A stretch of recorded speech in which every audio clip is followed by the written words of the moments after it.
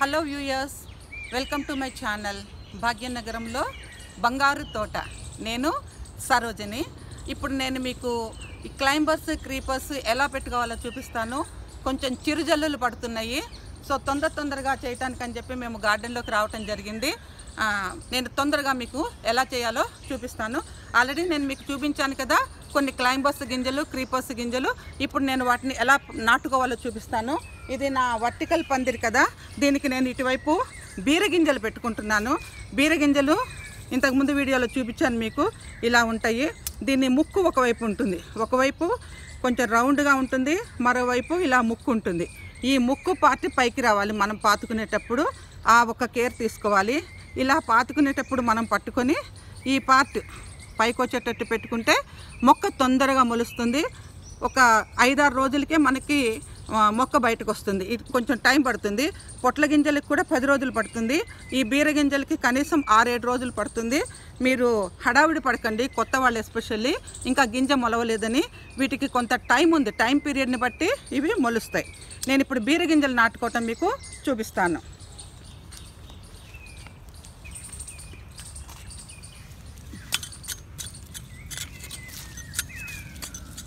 ఇక్కడ మీకు ఒక విషయం చెప్పాలి. నా చేతిలో ఈ ఇన్స్ట్రుమెంట్ ఉంది కదా. ఇది పసుపు తోటల్లో కలుపు తీయటానికి వాడతారు. అయితే మా పెద్ద తమ్ముడు ఊర్లో అంటే పొన్నూరు గుంటూరు జిల్లా పొన్నూరు తను వ్యవసాయం చేస్తూ ఉంటాడు. తన బిజినెస్సే కాకుండా వ్యవసాయం కూడా చేయిస్తూ ఉంటాడు. అయితే తను డిజైన్ చేసి చేయించాడనమాట టూ ఇన్ వన్ ఇది. ఎందుకంటే ఒకవైపు మనం మొక్కలు పెట్టుకోవడానికి పనికొస్తుంది మరొక వైపు వీడ్ ఉందనుకోండి వీడ్ ఉంటే మనం ఇలా తీసేసి వీడు కూడా తీసేసుకోవడానికి వీలవుతుంది. ఇలా రెండు వైపులా ఇటేమో దోకుడుపార టైప్లో మనం గడ్డి వీడ్ ఏదైనా ఉంటే అక్కర్లేని మొక్కలు తీసేయడానికి ఇలా కట్ చేసి తీసేసుకోవడానికి వీలవుతుంది. ఈ రెండో వైపు మనం తవ్వుకోవడానికి ఇలా తవ్వుకోవడానికి పనికొస్తుంది. ఇది two two in one. So ఇది నాకు చాలా యూజ్ అవుతుంది. మనం ఆర్డర్ ఇచ్చి చేయించుకోవచ్చు. మార్కెట్లో అయితే దొరకదు. మనం దీన్ని ఆర్డర్ ఇచ్చి చేయించుకోవచ్చు. ఇది మాత్రం గార్డెన్ చేసుకునే వాళ్ళకి పెరటి తోట కావచ్చు మిద్దె తోట కావచ్చు బాగా ఉపయోగపడిస్తుంది. పది ఇన్స్ట్రుమెంట్స్ బదులు ఇది ఒక్కటే మనకి బాగా ఉపయోగిస్తుంది. ఓకే వ్యూయర్స్ ఇప్పుడు నేను గింజలు పెట్టడం చూపిస్తున్నాను. ఇలా చెప్పాను కదా ఇంతకుముందు ఈ ముక్కు పైకి రావాలి. ఒక పాదుకి నేను మూడు గింజలు మాత్రమే పెడతాను. ఎందుకంటే ఒక గింజ పోయినా కూడా రెండు మొలుస్తాయి. ఇలా నేను చెప్పాను కదా ఈ ఇన్స్ట్రుమెంట్ మా తమ్ముడు మా పెద్ద తమ్ముడు వెంకు వాడు చేయించాడు. నాకు ఈ గార్డెన్కి అవసరమైన టూల్స్ కానీ ఏదైనా మెటీరియల్ కానీ లేకపోతే ఏమన్నా ఇన్ఫర్మేషన్ కావాలంటే వాడు నాకు ఎప్పటికప్పుడు నేను ఫోన్ చేస్తే చాలు. నాకు అవసరమైన వేప నూనె అట్లాగే ఏదన్నా ఎరువులు ఏమన్నా కావాలన్నా ఈ ఇన్ఫర్మేషన్ ఏదన్నా మనము ఆర్గానిక్ చేసుకోవటానికి ఏమన్నా కావాలంటే నాకు వాడు అందజేస్తూ ఉంటాడు. అందుకని చెప్పి వాడు కూడా వాళ్ళ ఇంట్లో గార్డెన్ చాలా పెద్ద గార్డెన్ మెయింటైన్ చేస్తున్నాడు.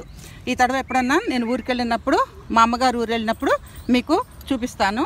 రెండో వైపు ఇక్కడ నేను కాకర గింజలు పెట్టుకుంటున్నాను. యూజువల్గా ఎప్పుడు ఈ వైపు నేను కాకర గింజలే పెట్టుకుంటాను.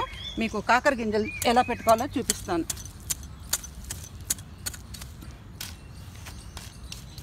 మీరు కూడా కొత్త వాళ్ళు ఏం భయపడకండి. కొన్ని రోజులు అలవాటైతే మీకు ఏ గింజ ఎలా ఉంటుంది ఎట్లా పెట్టుకోవాలి చాలా ఈజీగా తెలిసిపోతుంది. ఆల్రెడీ పాత వాళ్ళు అంటే పెంచుకునే వాళ్ళకి వాళ్ళకి తెలుసు కాకర గింజలు ఇలా ఉంటాయి. సో ఇవి కూడా అంతే వీటికి ముక్కు ఉంటుంది.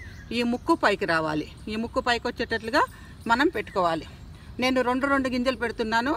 ఎందుకంటే ఇవి హండ్రెడ్ పర్సెంట్ జర్మినేట్ అవుతాయి. అందుకని చెప్పి రెండు రెండు గింజలు మాత్రమే పెట్టుకుంటున్నాను. ఎప్పుడు గుర్తుపెట్టుకోండి ఒకటే పాదు పెట్టుకుంటే మీకు ఆ కాయలు సరిపోవు. కనీసం ఒక నాలుగు పాదులన్నా పెట్టుకోవాలి. ఈ నాలుగు పాదులు పెట్టుకున్నాక ఒక నెల అయినాక మళ్ళీ రెండు పాదులు పెట్టుకోవాలి. అప్పుడు మీకు సంవత్సరం అంతా కాకర ఇంట్లో కాస్తూనే ఉంటుంది. ఈ కాకర కొన్ని రకాల కాయలు మొత్తం సంవత్సరం అంతా కాస్తాయి. మనకి కాకర బీర అట్లాగే మనకి వంగ టొమాటో ఇలాంటివి మనకి సంవత్సరం అంతా కాస్తూనే ఉంటాయి. ఈ రకంగా వీటిని నాటుకోవాలి. నేను ఇప్పుడు ఈ వర్టికల్ పందిరికి అటువైపు వెళ్తాను. అక్కడ గ్రౌండ్ కనిపిస్తుంది కదా. అటువైపు అంతా నేను క్రీపర్స్ పెట్టుకుంటాను. నేల మీద పాకేవి పెట్టుకుంటాను. ఎందుకంటే సొర ఆ, సపోటా చెట్లకి ఎక్కిచ్చేస్తాను. ఆ వాటర్ మెలన్ లాంటివి నేల మీద పాకిస్తాను. గుమ్మడి సొర చెట్ల దగ్గర పెడతాను. అవి అందుకని చెట్ల పైకి వెళ్తాయి. లేకపోతే నేల మీదన్నా పాకుతాయి. లేకపోతే చెట్ల మీదన్నా పాకుతాయి. మనకి మంచి కాపు వస్తుంది. అలాగే వాటర్ మెలన్ కూడా అది నేను నేల మీద పెడతాను. సో అటువైపు వచ్చి పెడుతున్నాను. ఈ పందిరి కింద నేను రెండు బీరపాదులు పెట్టుకుంటున్నాను. ఎందుకంటే చెప్పాను కదా ఒకటే దగ్గర పెట్టుకుంటే మనకు అంత కాపు సరిపోదు. నాలుగైదు చోట్ల పెట్టుకోవాలి. అందుకని నేను ఇక్కడ ఇక్కడ కూడా ఈ పందిరి కింద కూడా బీరపాదులే పెట్టుకుంటున్నాను. పైగా మట్టి చూడండి ఎంత ఈ ఎండాకులన్నీ కుళ్ళిపోయి మట్టిగా మారిపోయినాయి. సో హ్యూమస్ బాగా ఉంది ఇందులో. బాగా మొక్క బాగా పెరుగుతుంది. వేళ్ళు బాగా లోపలికి వెళ్ళి గుల్లగుల్లగా ఉండి మొక్క బాగా పెరుగుతుంది. అందుకని నేను ఇక్కడ రెండు బీరపాదులు పెట్టుకున్నాను. కాపు బాగా వస్తుంది చాలా బాగా కాస్తాయి. జర్మినేషన్ కూడా బాగా ఉంటుంది. సాయిల్ బాగా ఉందనుకోండి మనకి కాపు బాగా ఉంటుంది. చూడండి ఇలా తవ్వుతుంటేనే మట్టి ఎంత లూజు లూజుగా వస్తుందో. మనకి రెండే ముఖ్యమైనవి. ఒకటి సాయిల్ బాగా సాఫ్ట్ ఉండాలి లూజ్ ఉండాలి. అలాగే తర్వాత మనకి వీటికి మొక్క మొలిచినాక మనం చాలా కేర్ తీసుకోవాలి. ఇక్కడ నేను రెండు నేతిబీర పాదులు కూడా పెట్టుకుంటున్నాను. ఆల్రెడీ ఇక్కడ మొక్క మొలిచింది చూసారా? ఇది నేతిబీర మొక్కే. నేను ఇందులో రకాలు ఉన్నాయి. ఇందులో కూడా రెండు మూడు రకాలు ఉన్నాయి. ఇది ఒక రకం. ఇప్పుడు నేను మరొక రకాన్ని ఈ పక్కనే నాటుకుంటున్నాను.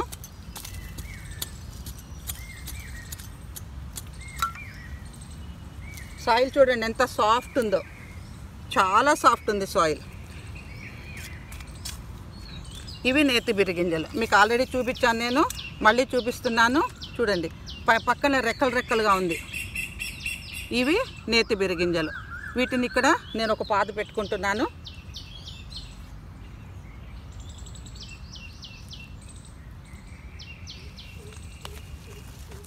ఓకేనండి. ఇవన్నీ క్లైంబర్స్. ఇప్పుడు నేను క్రీపర్స్ కూడా పెట్టుకుంటాను. క్రీపర్స్లో ముఖ్యంగా సొర అలాగే గుమ్మడి వాటర్ మెలన్. అవన్నీ కూడా నేను ఈ పక్కనే పెట్టుకుంటాను. మీకు చూపిస్తాను. ఇవి చూడండి ఇవి సొరగింజలు. వీటిని నేను రెండు పాదులు పెట్టుకుంటున్నాను ఇక్కడ.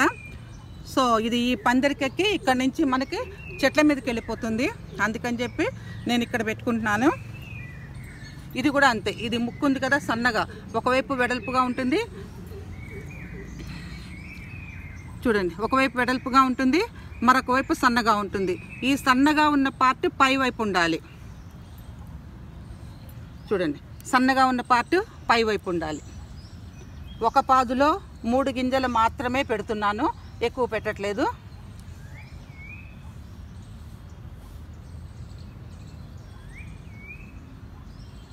ఇలా. ఇక్కడ నేను రెండు పాదులు పెట్టుకున్నాను. మరొక వైపు ఇంకా కొన్ని పాదులు పెట్టుకుంటాను. ప్రస్తుతం ఇక్కడ రెండు పాదులే పెట్టుకున్నాను. ఇక్కడ నేను వాటర్ మెలన్ గింజలు వేసుకుంటున్నాను. వాటర్ మెలన్ గింజలు తెలుసు కదా మీరు అందరికీ తెలుసు. ఇది కామన్గా అందరూ అందరూ ఇష్టంగా తినే వస్తువు. అందులో వచ్చే గింజలు ఇవి. వీటిని నేను ఇలా మూడు పాదులు పెట్టుకుంటున్నాను ప్రస్తుతం. ఇది ఎంత మొలుస్తాయో ఏంటో చూసుకొని మరికొన్ని పాదులు తర్వాత పెట్టుకుంటాను. ప్రస్తుతం అయితే ఒక మూడు పాదులు. వీటిని ఇలా వేసేసి ఎందుకంటే ఇది జర్మినేషన్ కొంచెం తక్కువ ఉంటుంది. ఎన్ని మొలుస్తాయో తెలియదు అందుకని నేను కొంచెం గింజలు ఎక్కువ వేస్తున్నాను. ఒకవేళ ఎక్కువ మొక్కలు మొలిచినాయి అనుకోండి వీటిని ఇక్కడి నుంచి తీసి నేను వేరే చోట పెట్టుకుంటాను. అందుకని ఇది మాత్రం కొంచెం ఎక్కువ గింజలు వేసుకున్నాను.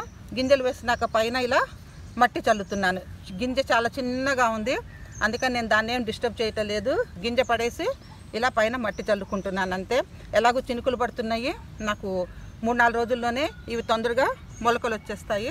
అలాగే ఇక్కడ నేను ఈ పక్కన బూడిద గుమ్మడి చెప్పాను కదా ఇది చాలా చిన్నది. సొరకాయలల్లే మన పొడుగు సొరకాయలు వల్లే కాస్తాయి. గింజ చూడండి చాలా దోస గింజలే చాలా చిన్నగా ఉంది.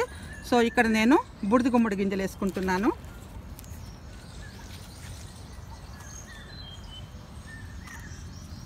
చూడండి గింజ ఎంత చిన్నగా ఉందో. మన మామూలుగా మనం పెద్ద బుడుగు బుడిద గుమ్మడి మనకు తెలుసు. గింజ పెద్దగా ఉంటుంది. కానీ ఇది గింజ చాలా చిన్నగా ఉంది. ఇది కూడా అలాగే నేను కొంచెం నాలుగైదు గింజలు వేసుకుని మట్టి చల్లుకుంటున్నాను. చూస్తాను మొలక శాతం ఎలా ఉంటుందో చూసుకొని మళ్ళీ ఇంకా రెండు పాదులు పెట్టుకుంటాను. ఫస్ట్ అయితే ఇప్పుడు రెండు పాదులు పెడుతున్నాను. ఇది మొలవటాన్ని బట్టి మరిన్ని పాదులు పెట్టుకోవటమా? చూసి ఏర్పాటు చేసుకుంటాను. ఇవి బెండగింజలు నేను బయట నుంచి తీసుకొచ్చాను. ఎలాగూ గార్డెన్లోకి వచ్చాను కదా ఈ చినుకులు పడుతున్నాయి కాబట్టి ఆల్రెడీ తవ్వు ఉంచుకున్నాను ఇక్కడ. సో ఈ బెండగింజలు కూడా నేను ఇప్పుడు నాటుకుంటున్నాను. ఈ బెండగింజలకి ఇలా చాళ్ళు చాళ్ళు చేసుకోవాలి. వీటిని చాళ్ళు అంటాం. ఇలా చేసుకోవటాన్ని చాళ్ళు చేయటం అంటాము. ఈ చాళ్ళల్లో గింజలు ఒక్కొక్క గింజ ఒక్కొక్క గింజ ఉండేటట్టుగా వేసుకోవాలి. వేసుకొని వాటిని మట్టితో కప్పేయాలి. ఇలా కప్పేసేస్తే నాలుగు రోజుల్లోనే జర్మినేషన్ వస్తుంది. నాలుగు రోజులకల్లా మొక్క మొదలవుతుంది. రెండు ఆకులు వేసినప్పటి నుంచి మనకి పూత తయారవుతుంది. పూత పింద తయారవుతుంది. బెండ చాలా తొందరగా మనకి కాపు వచ్చే చెట్టు. అందుకని ఒకటి అయిపోతూనే ఇంకోటి వేసుకుంటూ ఉండాలి. ఇది కాపు అవుతూనే అంటే ఇది ఒక నెల రోజులు రెండు నెల నెల పదిహేను రోజులు పెరిగిన పెరిగేటప్పటికి ఇంకొక మడి తయారు చేసుకోవాలి మనం. మొక్కకి కనీసం రెండు రోజులకు ఒకసారి మూడు కాయలు వస్తాయి రెండు నుంచి మూడు కాయలు వస్తాయి ఒక ఇరవై మొక్కలు ఉన్నాయి అనుకోండి ఒక చిన్న ఫ్యామిలీకి కూర సరిపోతుంది. సో నేను ఇప్పుడు ఈ చాళ్ళల్లో బెండ గింజలు వేసుకోవటం చూపిస్తున్నా.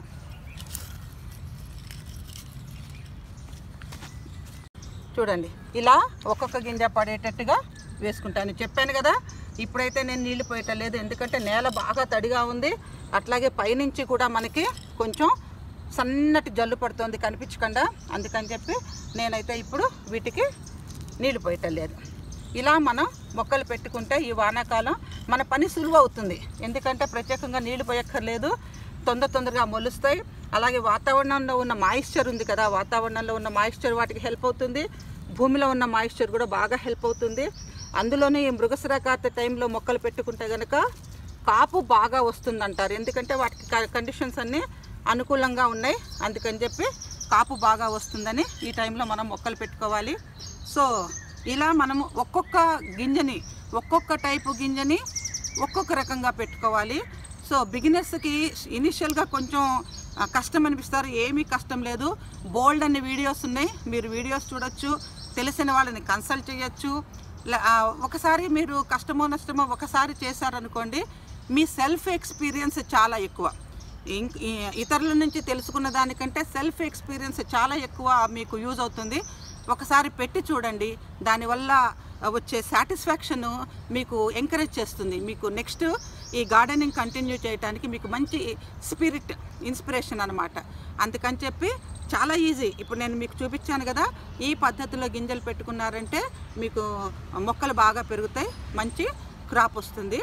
సో మీకు గింజలు ఎలా పెట్టుకోవాలి అనే ఇన్ఫర్మేషను మీకు బాగానే అందిందనుకుంటున్నాను. అందింది అనుకుంటున్నాను ఈ సమాచారం మీకు ఉపయోగపడుతుంది అనుకుంటున్నాను if you like it please subscribe touch the bell icon thank you thank you very much